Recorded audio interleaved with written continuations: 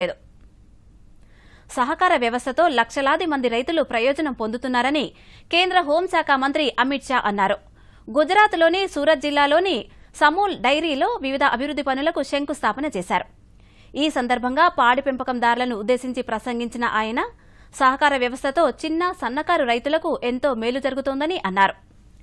సూరత్ జిల్లా పరిధిలో ప్రతిరోజు రెండున్నర లక్షల మంది గిరిజన రైతులు ఏడు కోట్ల రూపాయల విలువైన పాలను ఉత్పత్తి చేస్తున్నారంటూ తెలిపారు పీఎం కిసాన్ సమ్మాన్ యోజనతో రైతుల్లో ఆత్మవిశ్వాసం కలిగిస్తున్నామని అన్నారు ભાઈઓ ખેડૂત બહેનો બેઠી એમના પરિશ્રમ એમના પુરુષાર્થ ના લીધે રોજ સાત કરોડ રૂપિયા ના મૂલ્યનું દૂધ વેચાય છે અને સાત કરોડ રૂપિયા બારસો મંડળીઓના અઢી લાખ સભાસદોના બેંક એકાઉન્ટમાં સીધા પહોંચવાની વ્યવસ્થા.